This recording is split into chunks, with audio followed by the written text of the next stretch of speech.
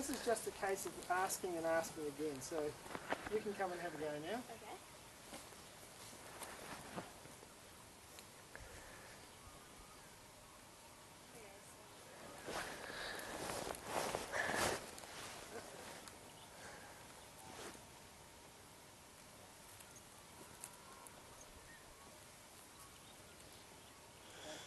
That's good. Bear in mind that he's heading up to the, the, the wall, so just let him, that's fine.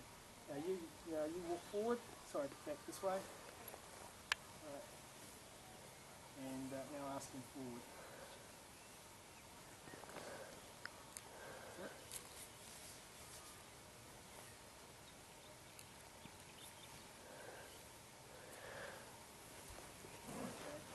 Swing his hips around and go and point in another, hips in another direction.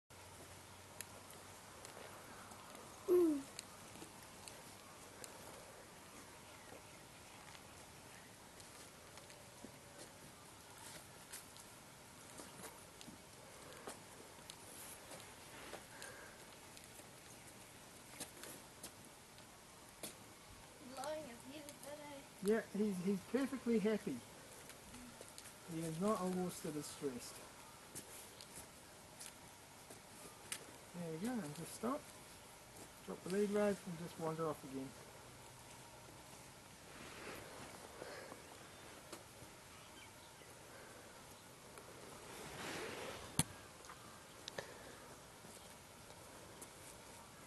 Okay, this time go up to him, unclip the lead rope and just let it fall on the ground. And then ask him to walk off with you like you did before.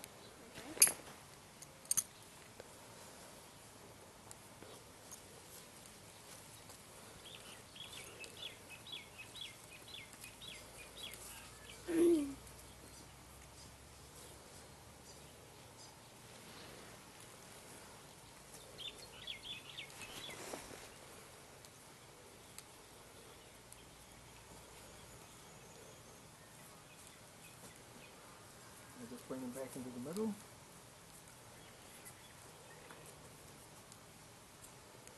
Beautiful. Flip him up again.